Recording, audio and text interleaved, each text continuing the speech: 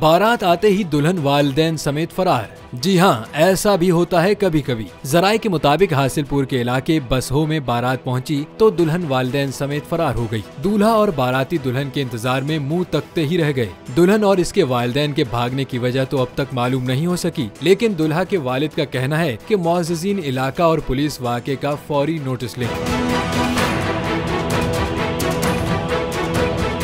एक तरफ़ दूल्हा वाले इस वाक़े के दुख में हैरान हैं कि दुल्हन ही गायब हो गई, अब क्या किया जाए? दूसरी जानब बारातियों का अलग ही रोना है। उनका कहना है कि सुबह से भूखे प्यासे बैठे हैं, कोई पुरसाने हाल नहीं। पुलिस एहलकारों के मुताबिक बारात दुल्हन को लेने चिश्तियाँ ऐसी आई थी। वाक़े की तहकीकात जारी है। शादी ऐसी मुतलिक एक और वाक्य इससे कबल कराची में पेश आया। जब बावन साल शहरी को तीसरी शादी करना महँगा पड़ गया था, हुआ कुछ यूँ था की बीस साल दुल्हन शादी के एक माह बाद ही जेवरात और लाखों रूपए लूट कर फरार हो गई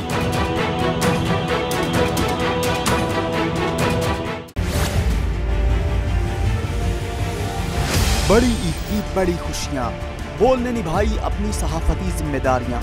कराची में ईद उल अजहा के मौके पर लियाकताबाद टाउन ऑफ़िस के साथ ही आलाइशों का ढेर लग गया है। सिंस सॉलिड वेस्ट मैनेजमेंट की टीम भी वहाँ पर मौजूद है। बड़ी ईद की खुशियों में भी बोल रहा सबसे आगे। सफ़ाई मुहिम के लिए मुतल इदारों तक पहुँचाई आवाम की आवाज़।